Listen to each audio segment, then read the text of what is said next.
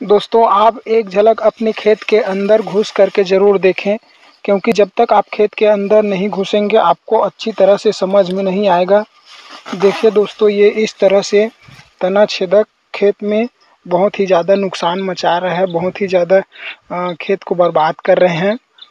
तो एक लाख रुपए का नुकसान हो गया मेरा, ऐसा कहने से बचिए दोस्तों आप लोग। और ये जो कीड़े हैं जो लगे हैं आपके फ़सल में आपकी मेहनत को पूरी तरह से बर्बाद कर रहे हैं। उसको आ, किसी भी तरह प्रकार से उसको मृत्यु दंड दीजिए जाइए कीटनाशक लाइए और छिड़काव कीजिए।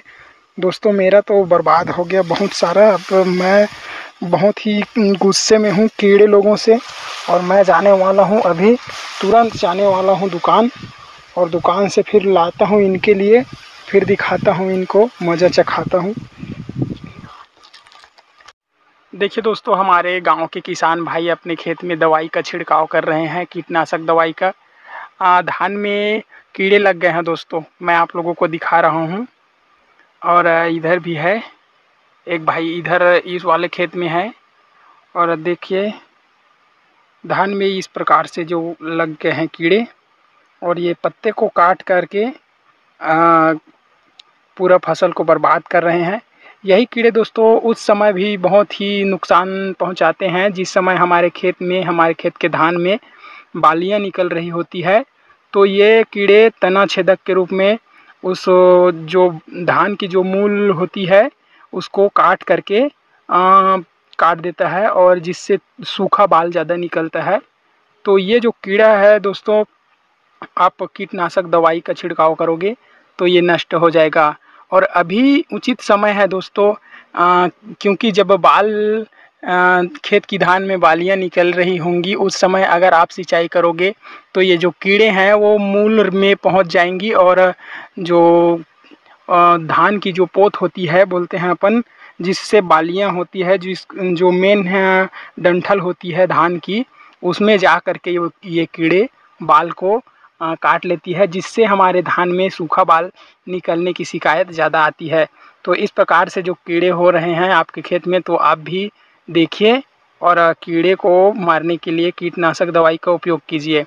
देखिए दोस्तों, अभी का जो मौसम है हमारे इधर धूप ज़्यादा कर रहा है, बदली बहुत कम है, पानी भी बहुत कम गिर रही है, इसीलिए दोस्तों ये कीड़े बहुत ही जल्दी लग रहे हैं खेत की धान में। तो आप जाइए, मार्केट से लाइए और इस प्रकार से कीड़े अगर आपके खेत में हैं तो ज़रूर डालिए कीटनाशक दवाई।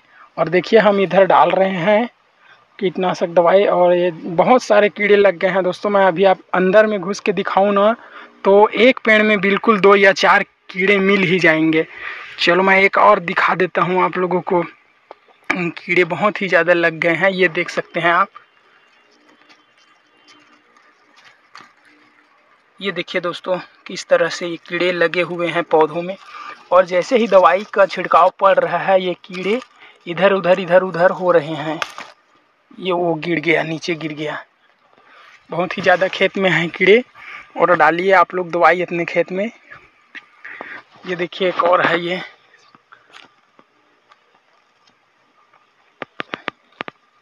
ये देखिए, इस प्रकार से कीड़े लगे हुए हैं।